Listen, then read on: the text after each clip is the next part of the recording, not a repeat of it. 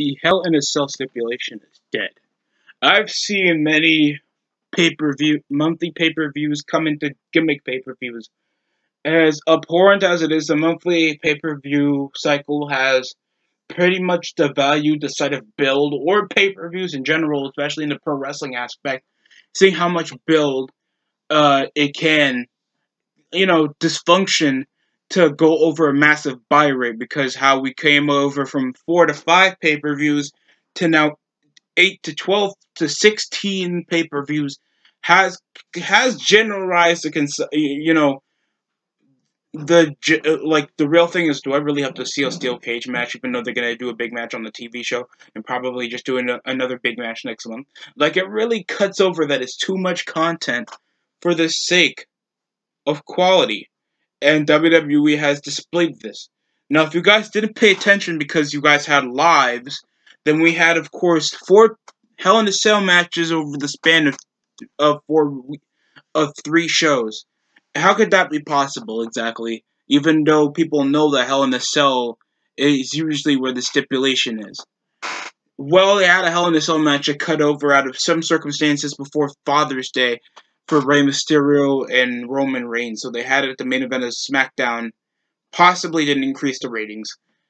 Also, they had two other pay per views.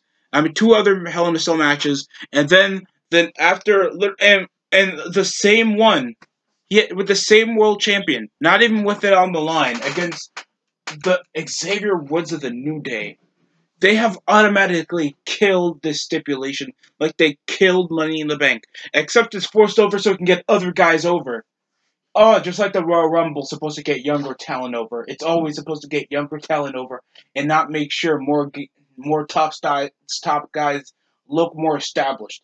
Yeah, that makes a bunch of sense. I have seen Hell in a Cell come over for months or years of build, hatred, violence, so it can be this end point, this end game, this massive story building moment. Hell, just last year we had a good one where even though we had like a like another Hell in a Cell match, it felt like okay, Roman, Roman Jey, big character shift for Roman, turned heel, showed he was mad controlling. It got us in an emotional level, and I feel like every pay per view match or even a match that's supposed to be violent as opposed to invest you in an emotional level. That's how I feel like a Hell in a Cell match or anything else like Monsters Ball, Elimination Chamber, a Steel Cage, a Strap match. Anything that's uh, supposedly with high risks of putting your body on the line should be on the sakeness of doing more for the character. And yet they're not doing that.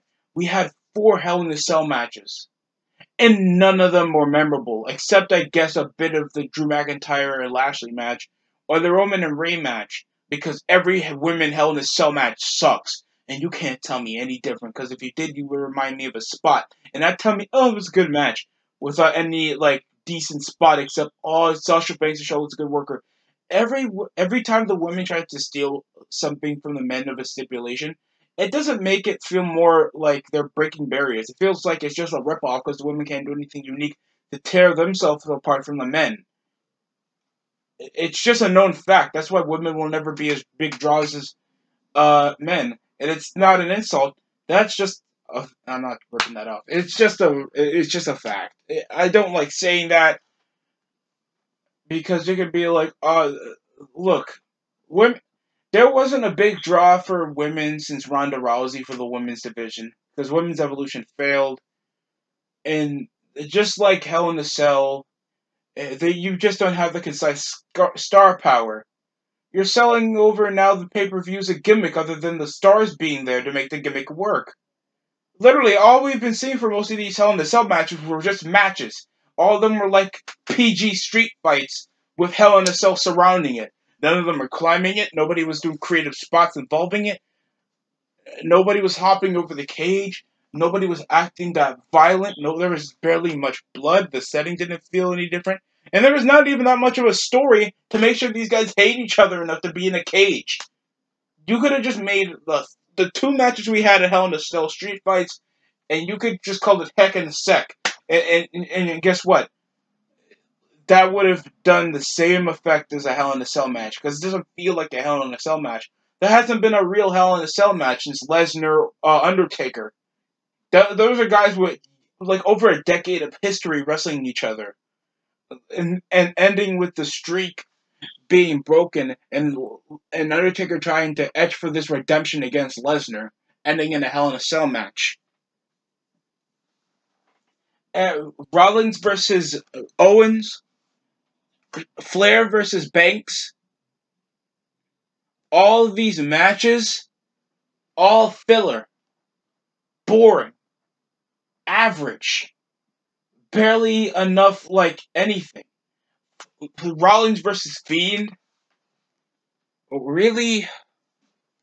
All these are just the concise that shows that Hell in a Cell is just a random gimmick now.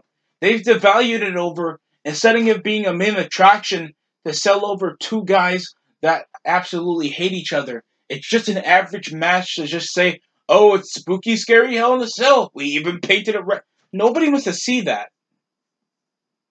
I I I I have literally been over painstaking, uh, you know, con- you know, just conciseness to just tolerate the type of practice that WWE has been in an image sense, but over what they've been doing. I had to watch two Hell in a Cell matches on TV. And it felt like it was so unimportant. It just felt like another match. And it like that's the way you just kill a stipulation.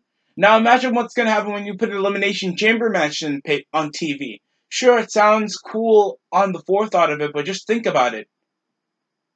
Hell in a Cell, I mean Elimination Chamber on the SmackDown. Hell in a Cell started in King of the Ring. Survivor, uh, Survivor Series 2002 was the first ever Elimination Chamber. And those felt like big, over, big moments because it felt like something that you can't see that often something that you're going to see once or twice a year basis. You don't know when it's going to come. And now they made Elimination Chamber Hell in a uh, Elimination Chamber pay per view. Now it's a Hell in a Cell pay per view. It's the reason for it. Now it just feels like just a tacky schlock. Like now I can see Kofi Kingston and Kalisto in Hell in Hell in a Cell now and uh, or Elimination Chamber. And now I see people like Xavier Woods in Hell in a Cell. They killed over whatever made this important, colliding with two men with just the force of malice, and this would be the only way to end it. Now it's just ah, it's Hell in a Cell. And it didn't feel like an end game. What a waste of a pay-per-view name. What a waste of now the match stipulation that uh it's not like six sides of steel. No, it's fucking a pay it's a match stipulation that's been there since the 1990s. You can't just now schlock it off as now a basis of a gimmick match. That's insulting to me. And that's over time seeing matches, and I'm not going to be rushing over. Yes, I understand those matches are iconic, but I didn't grow up with that. I watched with seeing Batista and Triple H. I watched Edge and Undertaker.